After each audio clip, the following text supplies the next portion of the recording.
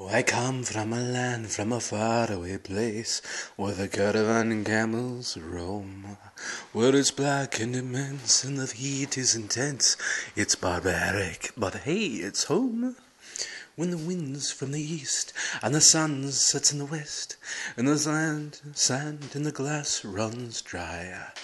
Come on down, step on by, hop a carpet and fly to another Arabian night. Arabian nights, like Arabian days.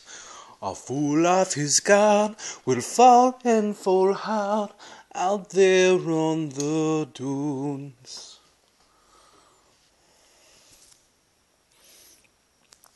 Ah, salam and good evening to you, worthy friends.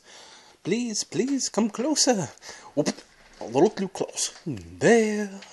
Welcome to Agrabah, city of mystery, enchantment, and the finest merchandise is available on sale today. Come on down.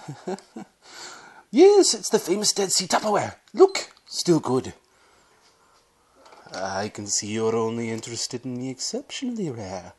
Perhaps I can interest you in this. Do not be fooled by its commonplace appearance. Like so many things, it is not what is outside, but what is inside that counts. This is no ordinary lamp!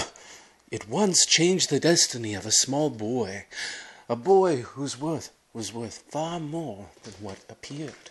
The diamond in the rough. Perhaps you'd like to hear the tale? It begins on a dark night, where a dark man waits with a dark porpoise